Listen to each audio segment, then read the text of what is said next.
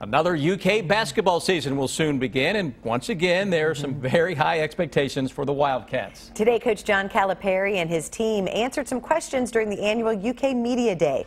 Rob Bromley joins us with more. Rob? John Calipari previewing the season ahead, and he is predicted to have another outstanding team despite the loss of seven players who have moved on to the NBA. Calipari is just getting started with this team. He's not sure exactly how he's going to play, and he said in November it will be kind of ugly. Calipari says there's one thing that surprised him in the early practices. That we're not as tough as I thought we'd be. I thought we'd be a more of a tough not a roughhouse team, but we'd be able to hold ground, and we're just we're going to have to train them, you know, make them, you know, just they got to be more aggressive. And I know all the fouls that are going to be called, and that's fine. This is a team. Let's let them call fouls on us, but just let's go, pick this up. I was just a little bit surprised we weren't.